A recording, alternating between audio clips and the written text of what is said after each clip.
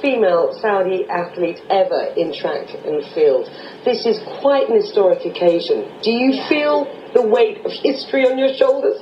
You know, it's starting after I'm seeing the news buzz after my race. I'm starting to realize it, but I don't think it's really hit me yet. But I, you know, just coming here, I knew that Mm. this was going to be a huge thing. And how important is it to you that as, as a Saudi you are able to compete as a woman?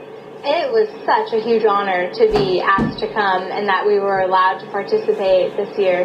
And I just think that it can be something amazing for the women in Saudi Arabia and that we can really, you know, push through and More than symbolic, because there are those who say this is just a nod and a wink, and, and, and what happens next is perhaps more important.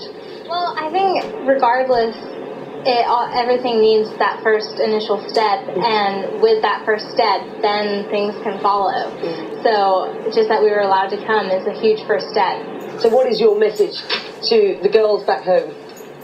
I say to go for it and get involved and live your dreams, and you know, just don't let anyone hold you back.